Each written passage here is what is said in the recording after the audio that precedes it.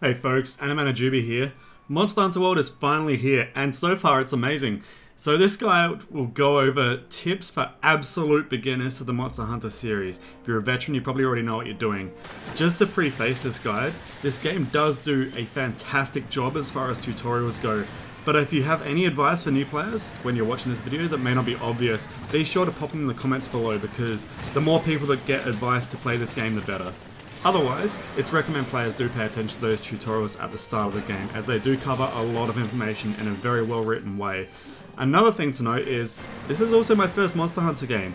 I've been unable to get into the previous games, whether or not it's other games I've had to play at a time, or I've just found it too difficult, or I didn't know what to do.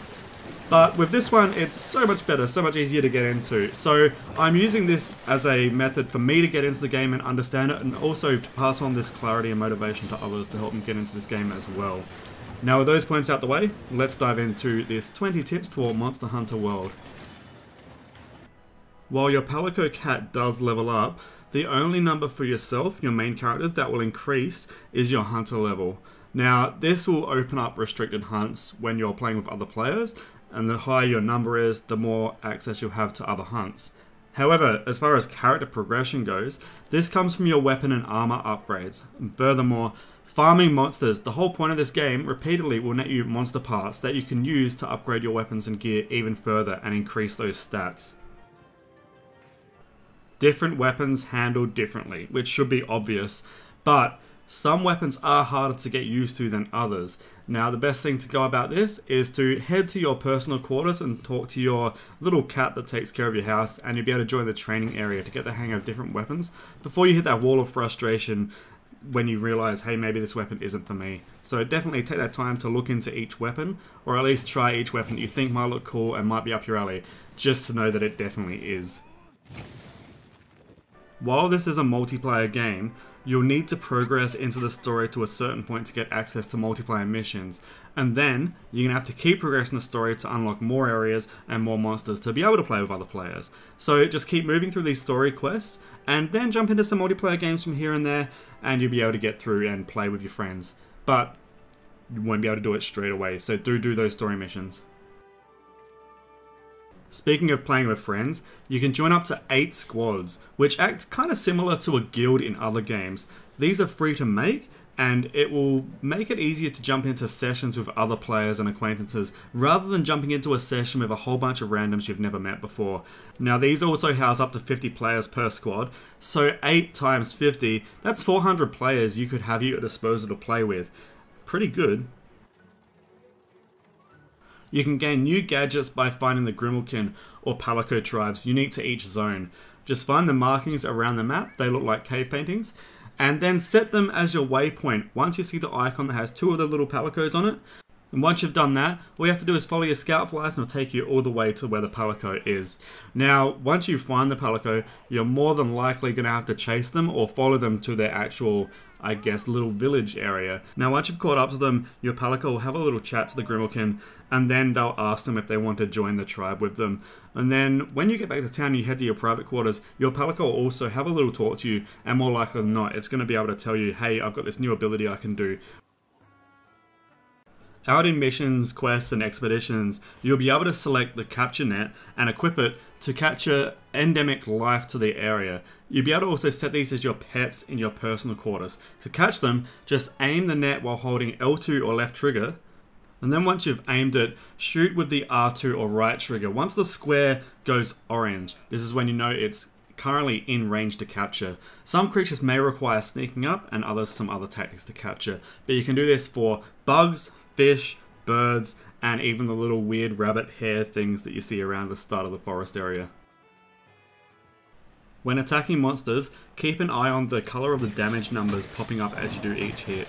Big orange numbers means you're hitting weak points or points of the enemy that are susceptible to damage.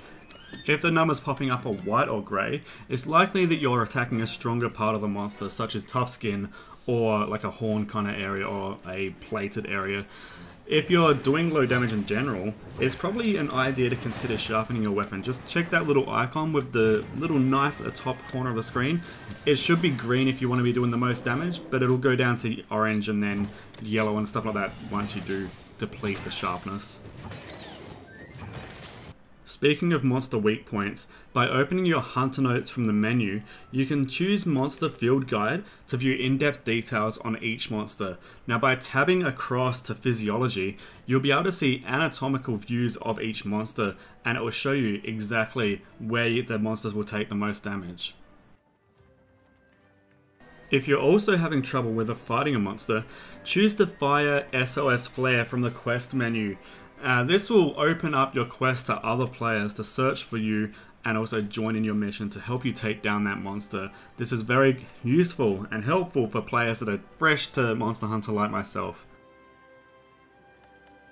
Assign quest a story quest. To have players join you in these quests though, you will need to get to a point of the quest where all of the cutscenes have been completed and played out.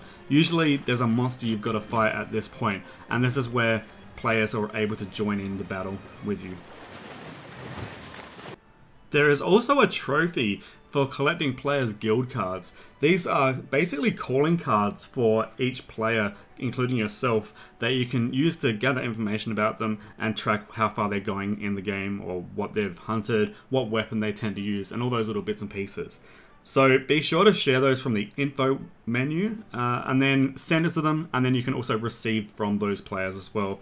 To get the trophy, however, you do need to collect 50 of these, which definitely means that we need to go out and be a little bit more social in the community. So go and make some friends, share those guild cards, and you might actually make some really good friends that'll stick with you for the next Monster Hunter game. Start out by buying or crafting high defense armor before using up all your armor spheres to upgrade the pieces you have. This will save them for when you have better armor later on from killing better monsters, allowing you to boost those high defense pieces even higher, and plus they'll have better skill abilities that you'll be able to take advantage of as well.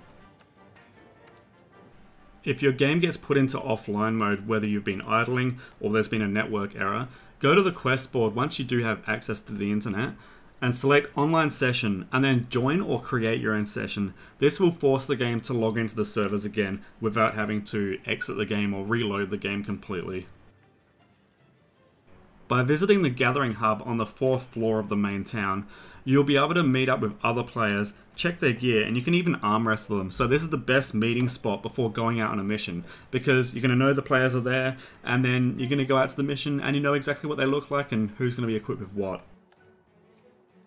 When you've got a whole bunch of items cluttering your pouch, you can save time by transferring unneeded items into your item box. By simply moving across full stacks of items instead of going one by one, you can basically save heaps of time. All you have to do for this is to press R1 or right bumper and basically it's going to just dump that whole stack of items into your main item box stash. Now, this game also scales monster difficulty by the amount of players in a party.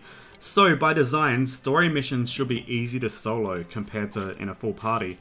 Uh, this is also a good way to learn how to handle yourself when you're the primary target of a monster. It'll help you immensely in the long run. Some items don't transfer into your item box after battle or missions. Ores, ammo resources, herbs, and meats do, but things like mushrooms and stones on the ground do not. Uh, some items are an exception to these rules, for example, mushrooms. Sometimes you'll have specific ones that will have account item in its tooltip so that you do know that if you pick that item up or find that item, it is going to go to your item box after battle. So any items that do not transfer outside of a mission will actually give you research points, however, so it isn't all lost. You can grapple to higher locations pretty quickly or over the head of a monster as they're trying to run away. All you have to do is aim for the bright glowing beetles and from there you'll be able to grapple onto them and it'll swing you up and then you can use your jump button to jump across. All you have to do is press L2 or the left trigger and then circle or B to be able to target them and then grapple. And then once you've done that, you'll be able to grapple your way to the top of the Coral Highland or different stages like that. Basically any of those stages that are very vertical where you're fighting a monster and their nest just happens to be right at the top of the peak of the stage so it'll save you a lot of time getting up that chase. Alongside quests and missions, you can also have 50 investigations active. You need to go and activate these at the resource center, but these will add extra options for hunting monsters in different styles, and also giving you different rewards, which will change things up a little and give you a different way of getting all those equipment pieces that you want to get unlocked. You can mount monsters by jumping on them, similar to that tip I did about the glowing beetles. You'd be able to jump down and attack them from a great height, and be able to grab onto them and do a whole bunch of damage. This works from little ledges where you've got enough height to be able to jump over them and clear them, or from really high ledges like a big cliff or something like that. Once you're mounted a monster, you can get in a lot of attacks by pressing the triangle or the Y button. So you'll also have to press the R2 button or the right trigger button to make sure you're able to brace and grab onto them. After a certain amount of time also, you'll knock them to the ground and jump off. This is where your party, or just yourself if you're solo, are going to be able to get in a lot of hits and it'll basically whittle down the monster a lot faster as well. So definitely take the height to your advantage.